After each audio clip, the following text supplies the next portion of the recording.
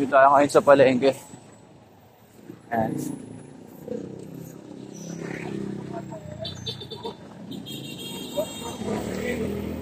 Ito yung sa Pote Public Market, Bacoor. Napadpad na naman tayo dito.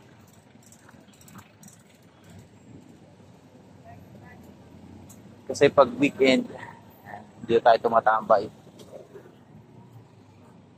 Grabe, napakaraming tao na. Ano? Ganyan, no? Talagang naisipag din talaga yung mga Pilipino. Talagang pagising ng um- umaga, bago pumutok ang araw, nasa kalsada. Yan, naghahanap buhay. Di ba, papasok ng trabaho. Sobrang sipag din talaga ng mga Pilipino. Nakakatuwa silang makita.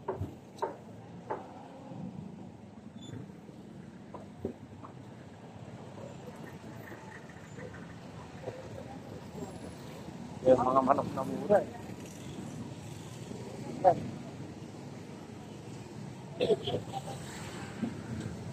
Karaniwan, pag nasa palengke ka, Mami, yung mga nasa labas ng store o nasa labas ng palengke mismo. Yan kadalasan yung mura eh. Kasi wala silang binabayarang pwesto. Unlike yung mga nasa loob, although mas maraming choice doon talaga dahil pwesto yun, siguro may dagdag. Kasi, ah, magbabayad pa sila ng pwesto. Dagdag ano rin yun. Gastos sa kanila, di ba? Hindi naman ganun kalaki yung tubo ng mga yun. Nakakatawa yung mga tao sa palit. Di ba? As early as 2 a.m., 3 a.m., 4 a.m., gising na yung mga yan. Di ba nga dyan, di na natutulog. Ganyan kasi sipag ng mga Pinoy. Sadya lang talagang mataas na ang, ang standard ng pamumuhay ngayon dito sa Pilipinas. Mahal ng mga bilihin. Kaya talagang minsan yung mga Pilipino, yung mga nasa ganitong klaseng komunidad is parang kung ano lang yung kinita nila, pantatawid lang. Pambayad ng bills, pampaaral ng mga anak, wala nang savings. Sadya nga namang mahirap ang buhay. Ayan yung wala, ayan yung Isa tayo. Morning po.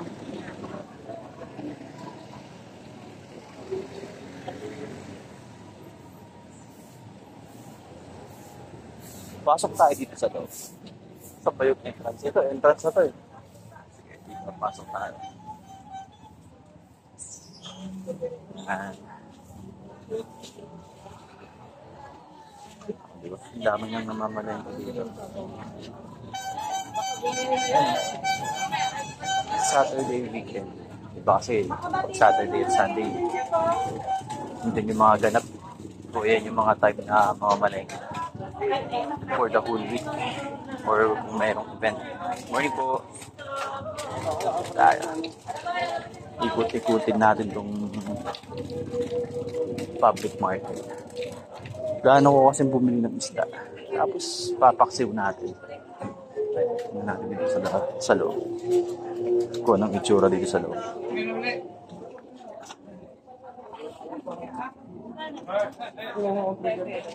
Tama,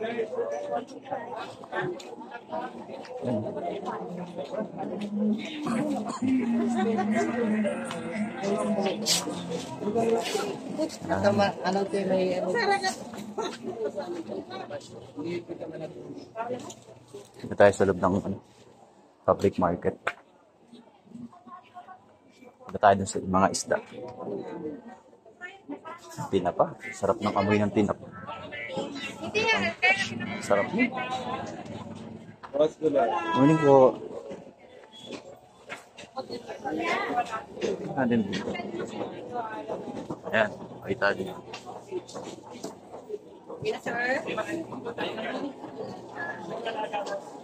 Ayan tayo, tayo dito sa isda. Super lang mo.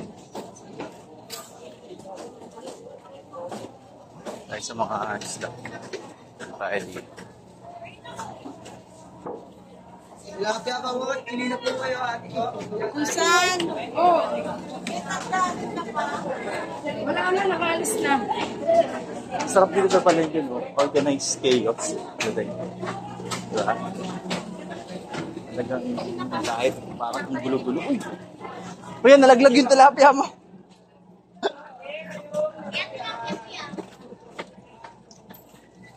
Nalaglag yung tilapia ni Kuya. Yan. Salamat. Buhay pa? Talagang fresh, no? Hindi, okay lang. Salamat. Nalaglag yung tilapia. Buhay pa.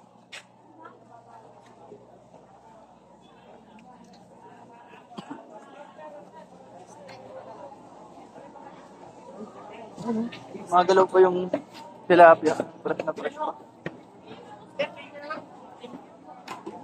Ang daming choices. Ito lang yung, ito yung maganda sa atin, sa palengke. Napakaraming pipili. Dami kang choices na pami, na pamimili. Diba? Minsan nakakabalik. Ito sarap eh. Galunggong. Tayo dito sa kabila. Hindi.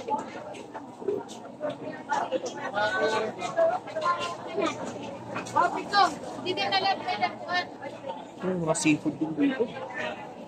Oops. Yeah. Seafood. Dito tayo.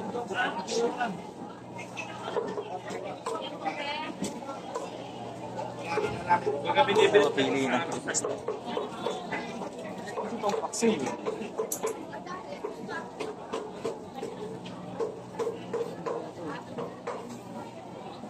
Yellow.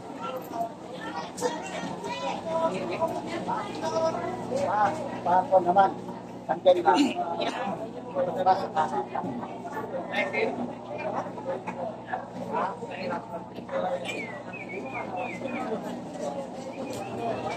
Hindi, wala tayong napili ah. Ah, ano ah, lakad-lakad lang tayo. Pwede na yun. Anong isda oh. High-end na isda. High class. Lapu-lapu.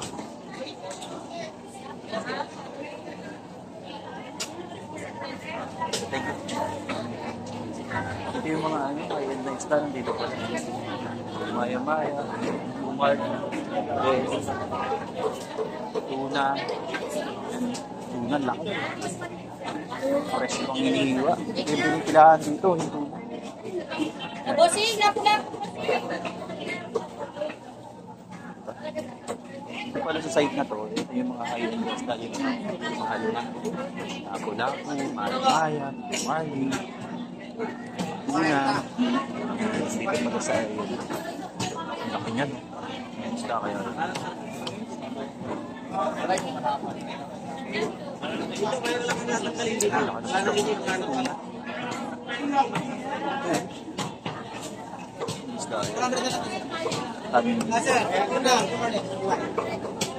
Yan.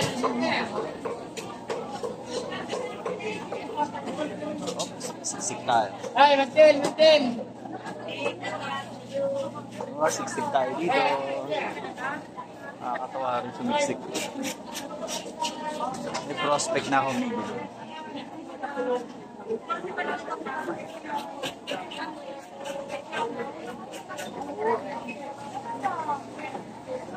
Tayo.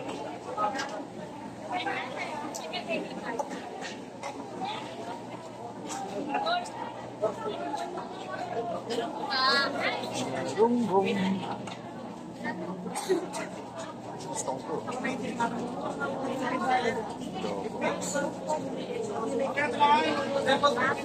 Magkano po dito? Nay? Magkano po dito? 220 po? 120. Aloy to, Nay, no? Aloy? Ito, yellow pin tuna. Aloy. So, so ang ano eh, maliliit lang siya eh.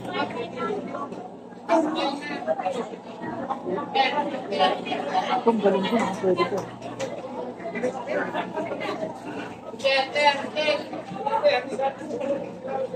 Saan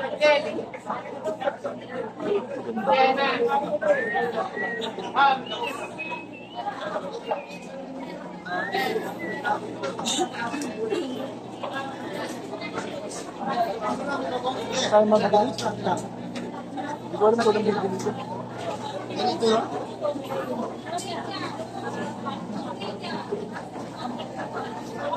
Boy, boy po na ako.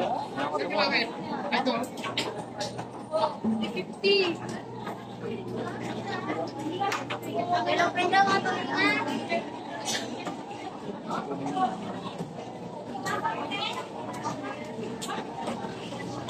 Abangos na dito.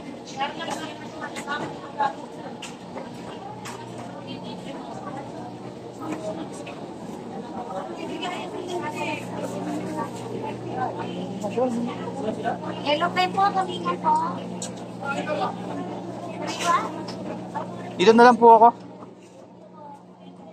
Dalawa. Di, pa, pa, patimbang nga po ako ng dalawang peraso. Wala, maliit din.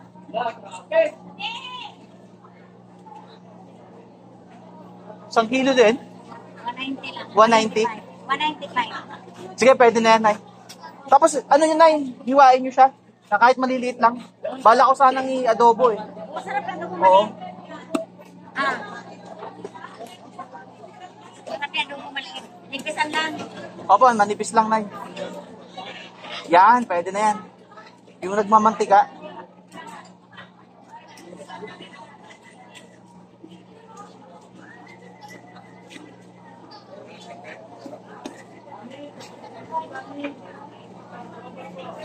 Tapos hiwain nyo yung ulo na yan.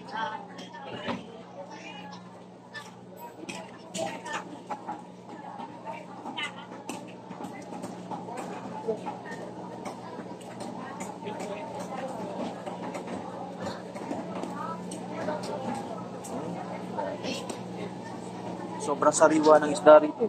Ayan, oh. Ayan, yellowfin. Paborito kong isda to eh. Pag-ihaw. Pero ngayon, pas muna ako. Try ko lang mag-adobo. Adobong isda tayo.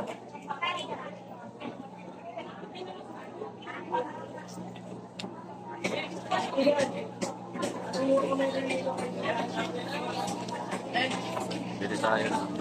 Ano po? May iro kayong papel dyan, ay, dyaryo? Ibalot ko sana ng dyaryo para payagan ako sumakay ng jeep eh. Sige, pwede na, Nay. Bakit ako payagan sa jeep eh? Wala ko talang plastic. Okay lang to. Salamat po ah. Thank you po.